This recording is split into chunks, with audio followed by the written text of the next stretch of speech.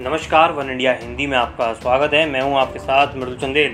भारतीय सेना जम्मू कश्मीर में पाकिस्तान से आ रहे आतंकियों को लगातार उनकी असली जगह पर पहुँचाने में लगी हुई है। लेकिन पड़ोसी देश अपनी नापाक हरकतों से बाज नहीं आ रहा। वहीं अब पुरी में सुरक्षा बलों ने आतंकी घुसपैठ की कोशिश को नाकाम कर दिया है। आतंकियों की घुसपैठ की कोशिश के बाद इलाके में बड़े पैमाने पर तलाशी अभियान चलाया जा रहा है। रक्षा सूत्रों का कहना है कि जम्मू कश्मीर के उरी में नियंत्रण रेखा के पास सेना ने घुसपैठ की कोशिश कर रहे पाकिस्तानी आतंकवादियों को 27 सितंबर की शाम को पकड़ लिया। इस दौरान जवानों ने ऑपरेशन में दूसरे आतंकी को मार गिराया।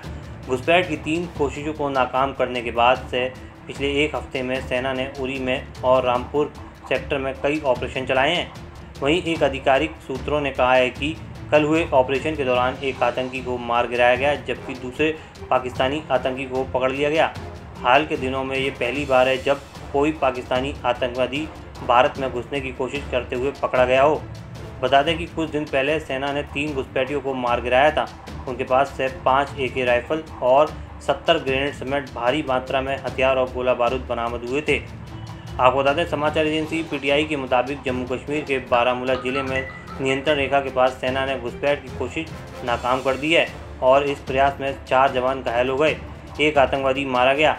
अधिकारियों ने ये जानकारी दी। उन्होंने बताया कि संदिग्ध गतिविधियों का पता चलने के बाद सेना ने उत्तरी कश्मीर के उरी सेक्टर में नियंत्रण रेखा के पास एक घुसपैठ रोधी अभियान चलाया। अधिकारियों ने कहा कि उरी में नियंत्रण रेखा के पास घुसपैठियों और सेना के बीच गोलीबारी में तीन सैनिक घायल हो गए और एक घुसपैठिया मारा गया। गौरतलब है कि सीमा पार से भारत में आतंकियों की घुसपैठ के पीछे पाकिस्तान का हाथ माना जाता है। हमेशा से पाकिस्तान कश्मीर को डिस्टर्ब करना चाहता है, ताकि उसका फ़ायदा उसे मिल सके। इस खबर में फ़िलहाल इतना ही। बन रही वन इंडिया हिंदी के साथ।